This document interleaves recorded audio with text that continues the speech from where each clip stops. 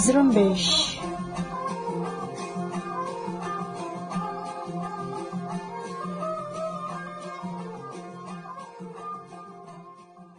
ये रेडियो जुम्बिश उर्दू की आवाज़ है। आज सात सितंबर, पीर का दिन और साल 2020 है। और आपका मेजबान हुमेरा बलोच आपकी खिदमत में हाजिर है।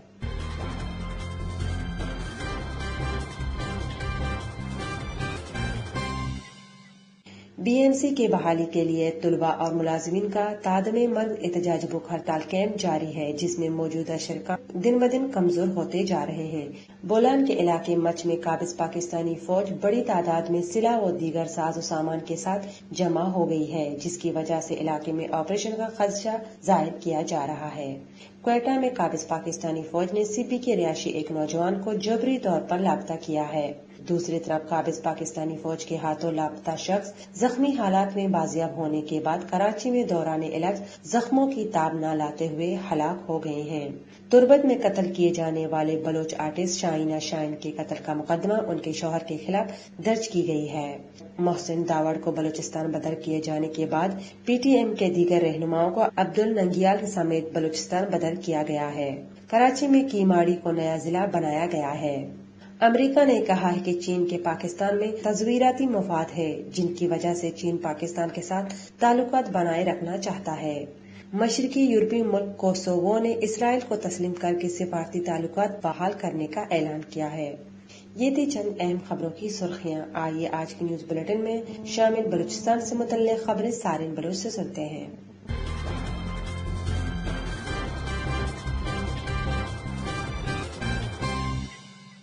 बीएमसी बहाली तहरीक के जेर एहतमाम तादम मार्ग भूख हड़ताल जारी है, जहाँ भूख हड़ताल पर बैठे मुलाजमीन तलबा की हालत बिगड़ने लगी है, जिन्हें बार बार तबी इमदाद के लिए अस्पताल ले जाया जा रहा है, जबकि डॉक्टर तारिक बलोच और बालाज कादिर की तबीयत तशवीशनाक होने पर उन्हें आईसीयू में दाखिल किया गया है।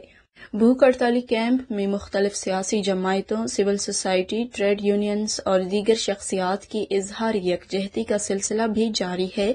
दूसरी तरफ़ तहरीक बहाली बीएमसी के रहनुमाओं का कहना है कि गुजरते वक्त के साथ भूख हड़ताली साथियों की हालत खराब से खराब तर होती जा रही है। अगर किसी भी साथी को नुकसान पहुँचा तो ऐसी आग लगेगी पूरी बलूचिस्तान में जिसे फिर रोकना मुमकिन नहीं होगा। बीएमसी बहाली तहरीक के शरका के साथ इजहार यकजहती के लिए बीएसओ पज्जार की तरफ़ से मस्तुंग में शटर डाउन हड़ताल करके एहतजाज भी किया गया। बलोच स्टूडेंट्स एक्शन कमेटी के मरकजी तर्जुमान ने बोलान मेडिकल कॉलेज एक्ट में तरमीम के लिए भूख हड़ताली कैंप पर बैठे तलबा और मुलाजमीन की सेहत और हुकूमत की गैर संजीदगी पर सख्त तशवीश का इजहार करते हुए कहा है कि अपने आईनी हक के लिए जिदोजहद करने वाले तलबा के सेहत को खतरात लाक है।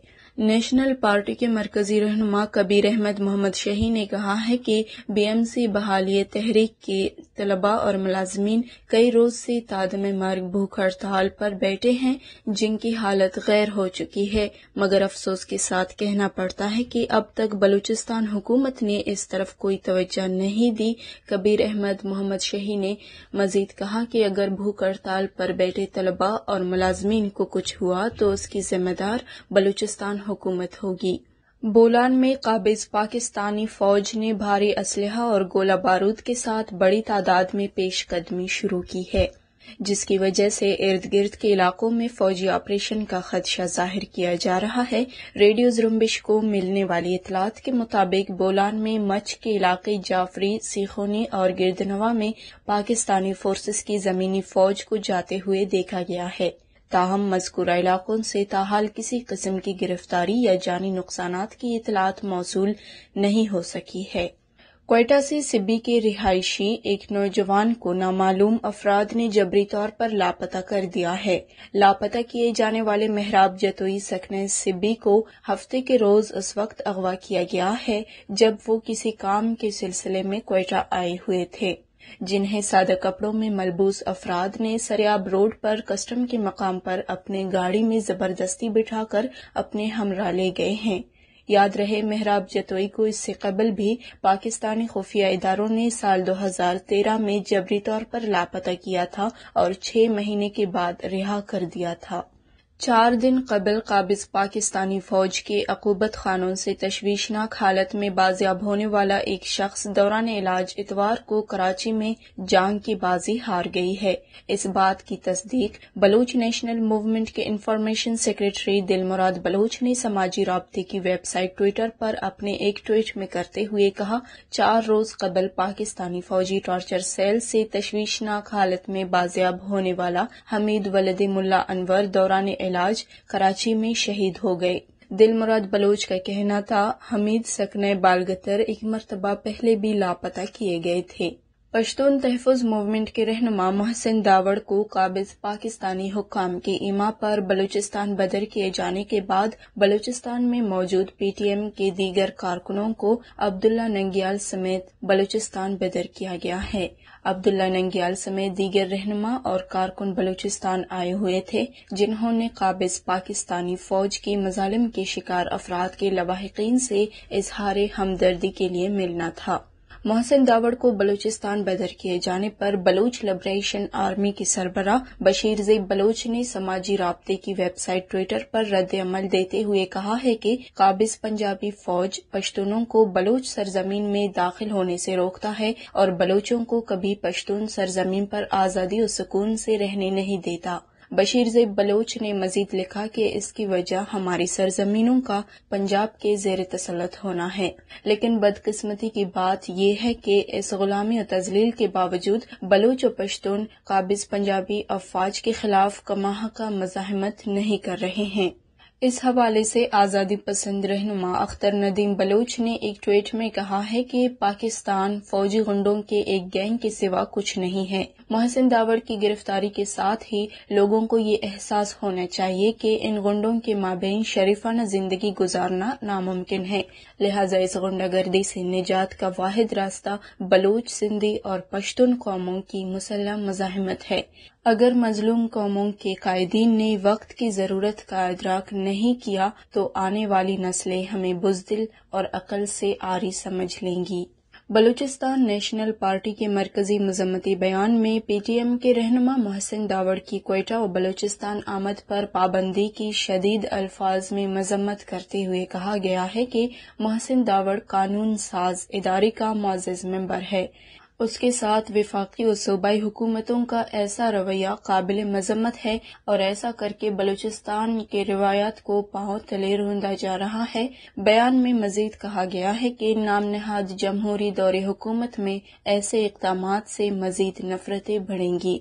तुरबत में कत्ल किए जाने वाले आर्टिस्ट और सहाफ़ी शाहिना शाहीन के कत्ल का मुकदमा उसके शोहर के खिलाफ दर्ज कर लिया गया है। तुर्बत पुलिस ने मकतूला के मामू की मदयत में मेहराब किच की, जो मकतूला का मुबैना शोहर बताया जा रहा है के खिलाफ मुकदमा दर्ज किया है। मुकदमे में अमजद रहीम वलद रहीम बख्श ने कहा है कि मेहराब गिचकी जो कि मकतूला शाहिना शाहीन के शोहर हैं, ने पीटीसीएल कॉलोनी में अपने 9 एम एम पिस्तौल से फायरिंग करके अपनी बीवी मसमात शाहिना बिनते मोहम्मद रफीक को कत्ल कर दिया है। केज पुलिस के एसएसपी नजीब पंजरानी के मुताबिक शाहिना को मेहराब गिचकी नामी एक शख्स ने जख्मी हालत में डिस्ट्रिक्ट हेडक्वार्टर अस्पताल पहुंचाकर खुद रफू चक्कर हुआ था। पाकिस्तान की विफाकी हुकूमत की तरफ़ से पाकिस्तानी फोर्सेस के हाथों लापता अफराद की बाजियाबी के हवाले से कायम कमीशन ने कोयटा में पाँचवें रोज मुख्तलिफ़ केसेस की समात में बारह लापता अफराद के केसेस सुने गए। ताहम कोई लापता शख्स बाजियाब न हो सका है, जबकि कोई केस भी डिलीट नहीं किया गया है। महकमे दाखिला बलूचिस्तान के मुताबिक कमीशन पाँच दिन की समात के दौरान चौवन लापता अफराद के केसेस की समात कर चुका है, जिनमें आठ लापता अफराद के बाजियाब होने की तस्दीक हो चुकी है।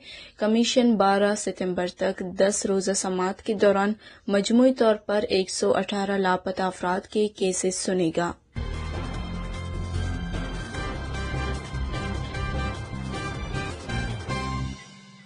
ये थे बलूचिस्तान से मतलब खबरें। अब इलाके और आलमी खबरें सुनते हैं दोस्तिन मुराद बलूच से।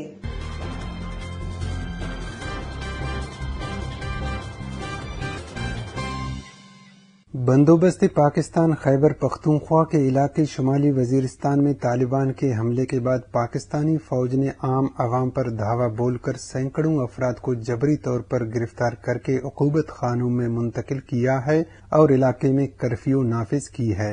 मकामी जरा के मुताबिक गुजशत दो दिनों से जनूबी वजीरिस्तान की तहसील शक्तोई में पाकिस्तानी फौज ने अवाम पर कयामत ढा दी है। अब तक की इतलात के मुताबिक कई घरों पर बिला जवाब छापे मारे गए हैं और 200 से जायद नौजवानों को गिरफ़्तार किया गया है। हुकूमत सिंध ने कराची में केमाड़ी को नया जिला बनाने का अलामिया जारी कर दिया है, जिसके साथ अब कराची में अजला की तादाद सात हो गई है। हुकूमत सिंध की मौके में रेवन्यू की तरफ़ से जारी एलामिया में कहा गया है कि सिंध लैंड रेवेन्यू एक्ट उन्नीस सौ सड़सठ के दफ़ा छह में दिए गए इख्तियार का इस्तेमाल करते हुए सूबाई हुकूमत कराची के ज़िले गरबी की हदूद में तब्दीली कर रही है और एक नया जिला केमाड़ी बना रही है। इसके अलावा सब डिवीज़न हार्बर का नाम भी तब्दील करके केमाड़ी कर दिया गया है। अमरीकी हुकाम की एक सरकारी रिपोर्ट में कहा गया है कि चीन के पाकिस्तान में गहरे स्ट्रेटेजिक मफादात हैं जो दोनों ममालिक को मुमकिन मसाइल के बावजूद दो तरफा आमादगी पर यकजा किए हुए हैं। चीन में फौजी और सलामती तरक्की के बारे में कांग्रेस को पेश करदा 2020 की रिपोर्ट में अमरीकी महकमा दिफा ने बताया है कि पाकिस्तान इन चंद ममालिक में शामिल है, जहाँ बेजिंग दो तरफा और कसीरुल जहत ताल्लुकात बढ़ाना चाहता है। रिपोर्ट में मजीद कहा गया है कि पाकिस्तान उन ममालिक में शामिल है जहाँ चीन ने मुमकिन तौर पर फौजी रसद की सहूलत के लिए जगहों पर गौर किया है, जबकि चीन और पाकिस्तान ने इस रिपोर्ट को मुस्तरद कर दिया है। अफ़गानिस्तान के सूबे कंदहार में अफगान सिक्योरिटी फोर्सेज से झड़पों के नतीजे में दस तालिबान जंगजू हलाक हो गए हैं। अफगान वजारत दिफा के मुताबिक जनूबी कंदहार में जिला शावली कोट में तालिबान की जानब से सिक्योरिटी फोर्सेज पर हमला किया गया, जहाँ सिक्योरिटी फोर्सेज की भरपूर जवाबी कार्रवाई में तालिबान को जानी नुकसान का सामना करना पड़ा और झड़पों में सिक्योरिटी फोर्सेज ने तालिबान की चार मोटरसाइकिलों को भी तबाह कर दिया है। ताहम तालिबान की तरफ़ से हमले में किसी सिक्योरिटी अहलकार की हलाकत के हवाले से कोई खबर सामने नहीं आई है। मशरकी बहरे रूम में तुर्की की तरफ़ से तेल और गैस की तलाश के मिशन पर पैदा होने वाले तनाजे के बाद तुर्क सदर रजब तजीब अर्दवान ने पड़ोसी मुल्क यूनान को संगीन नतज की धमकी देते हुए कहा है कि यूनान जेर आब कुदरती वसाइल के तनाजे पर अनकरा के साथ मुजाकरात करे, वरना उसे तबाकुन जंग का सामना करना पड़ेगा। इस्तंबुल में तबीयत शहर के इफ्तिताह के मौके पर बात करते हुए उन्होंने कहा कि तुर्की की हुकूमत और अवाम तमाम तरह के पस मंजर और उनके मुरतब होने वाले नतज के लिए तैयार हैं। जनूब मशरकी यूरोप के मुस्लिम अक्सरियती मुल्क कोसोवो ने इसराइल के साथ सिफारती ताल्लुकात इस्तेवार करते हुए उसे तस्लीम करने का ऐलान किया है। कोसोवो की तरफ़ से इसराइल को तस्लीम किए जाने के बाद इसराइल के वज़ीर आज़म बिन यामिन नेतन याऊ का कहना था कि दोनों ममालिक के दरमियान सिफारती ताल्लुकात इस्तेवार किए जाएँगे और कोसोवो भी यरूशलम में अपना सिफारत खाना खोलेगा। नेतन्याहू का कहना था कि कोसोवो पहला मुस्लिम अक्सरियती मुल्क होगा जो यरूशलम में अपना सिफारत खाना खोलेगा। अकवाम मुतहदा के सेक्रेटरी जनरल एंटोनियो गुटरस ने खबरदार किया है कि चार शोरिश ज़्यादा ममालिक कांगो, यमन, शुमाल मशरकी नाइजेरिया और जनूबी सूडान में कहत और बड़े पैमाने पर खुराक के अदम तहफ़ के खतरे का सामना हो सकता है। सेक्रेटरी जनरल ने अकवाम मुतहदा की सलामती काउंसिल के रुकन ममालिक को एक नोट में लिखा है और कहा है कि ये चारों ममालिक दुनिया में खुराक के सबसे बड़े बहरान से दो चार हो सकते हैं। सबसे बड़े बहरानों से दो चार हैं, जबकि इन बहरानों से निमटने के लिए बहुत कम रकूम मुहैया की जा रही है। सऊदी अरब के दारुल हुकूमत और रियाज में एक फौजदारी अदालत ने सख्त गिर जंगजू ग्रुप दाइश से वाबस्ता तीन दहशत गर्दों को सजाए मौत का हुक्म दिया है। अदालत ने अपने फैसले में कहा है कि इन दहशत गर्दों ने दाइश की हिमायत की थी और सऊदी सिक्योरिटी फोर्सेस पर कातलाना हमलों और जद्दा शहर में सिक्योरिटी हेडक्वार्टर पर हमले की मनसूबाबंदी कर रहे थे। बरतानिया के शहर बिर्मिंगम के सिटी सेंटर में दो गिरोहों के दरमियान तसादम और चाकू जनी की वारदातें हुई हैं, जिसमें एक शख्स हलाक और दीगर चार जख्मी हुए हैं, जिनमें से दो की हालत तशवीशनाक बताई जा रही है। ऐनी शाहिदीन के मुताबिक मुतादिद अफराद को आपस में लड़ते हुए देखा गया, जबकि लड़ाई के दौरान चाकू भी निकाले गए। बरतानवी पुलिस ने हमले के इल्ज़ाम में पाँच अफराद को गिरफ़्तार कर लिया है। हांगकांग में हुकूमत की तरफ़ से इंतबात मुलतवी करने की कोशिशों के खिलाफ इतवार को फिर से मुजाहरे हुए हैं, जहाँ पुलिस ने कम अज कम तीस मुजाहरीन को गिरफ़्तार किया है। जिन अफराद को हिरासत में लिया गया है, उनमें जमहूरियत के हक में तहरीक चलाने वाले कई सरकर्दा कारकुन शामिल हैं। लेबनान के दारुल हुकूमत बैरूत में अगस्त के अवाइल में होने वाले धमाकों के बाद हुक्काम ने मलबे के नीचे से धमाका खेज मवाद एमोनियम नाइट्रेट के मजीद चार टन मिकदार बरामद की है। ये धमाका खेज मवाद बैगू में डाला गया था। याद रहे, Beirut port management and investment के director general Basim al Qaisi ने इससे कबल इंकशाफ किया था कि धमाका खेज मवाद पर मुश्तमिल मजीद कंटेनर्स अब भी मौजूद हैं।